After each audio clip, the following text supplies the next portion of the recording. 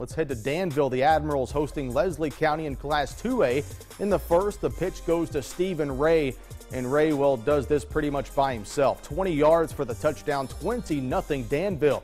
If you thought that run looked good, how about this one? The next Admirals possession, weaving his way through the defense, and he's going to go in for another touchdown. Does number 24, weaving through the Eagle defense.